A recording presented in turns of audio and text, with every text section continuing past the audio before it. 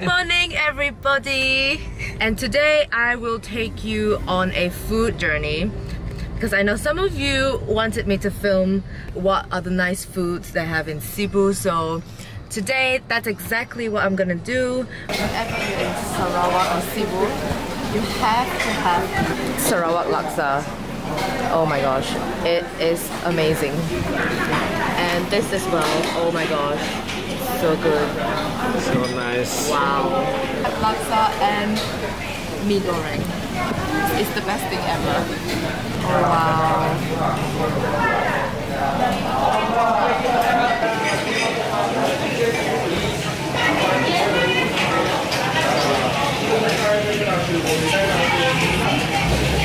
Mm. One of the things you must have when you are in Sibu is the kaya and butter toast. It is just amazing. I mean, look at that. Mmm.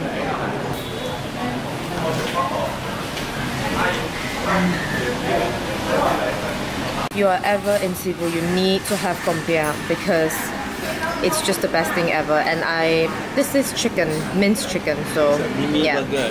it's like a mini burger exactly. Mm. Very tasty. Lovely. Look at that. So basically, it's got like an egg, mushroom, and chicken, and it is full of red wine. So it's really good. Love that smell. And people normally have this during birthdays.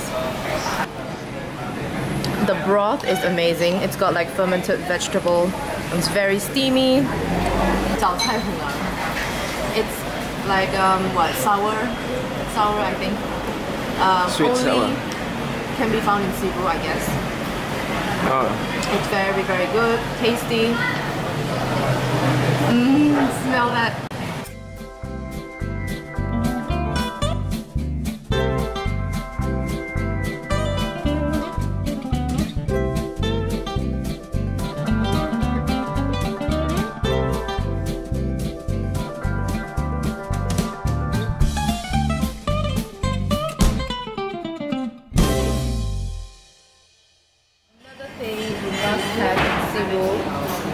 Promise you, is this.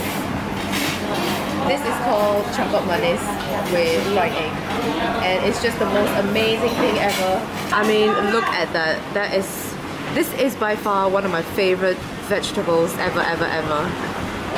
And you cannot find any good ones in Kuala Lumpur, anywhere else actually.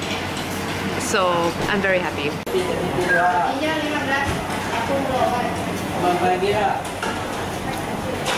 thing you should definitely have is this, kampua. This is the must-have, kampua.